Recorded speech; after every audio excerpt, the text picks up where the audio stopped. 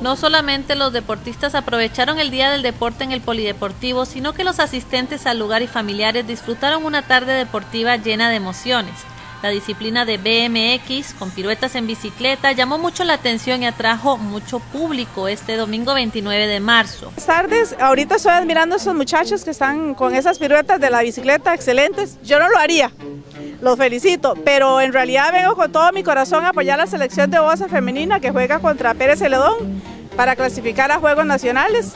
Las chicas van por el, son mi campeonas ahorita y al, tienen que triunfar hoy para, para llevar la clasificación y los muchachos que ya están clasificados a Juegos. Así que con todo, viva, viva Osa. El taekwondo fue una disciplina muy solicitada y los chicos ensayaron sus rutinas con mucho rigor junto a sus entrenadores. Eh, me llama la atención porque ahí está mi hija también, ¿verdad? Y mi esposo pues también como que toda la vida ha practicado taekwondo. Entonces ya imagínense, ¿verdad? Hay que apoyar a la familia. Ok, bueno, personalmente me gusta el voleibol, este, porque bueno, es un deporte de conjunto también y, lo que pase ahí no es solo de un jugador, sino de todo el conjunto, ¿verdad?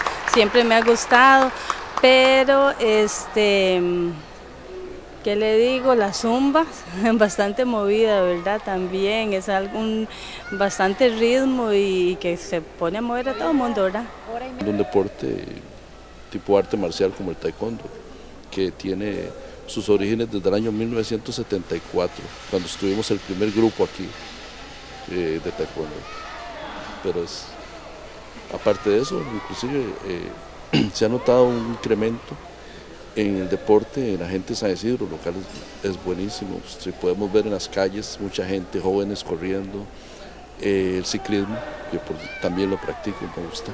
Estoy incurriendo en el ciclismo, es un deporte me ha gustado. Hay bastante gente practicando el ciclismo y también, le digo, la gente se nota que hay un cambio en el estilo de vida de las personas porque se están...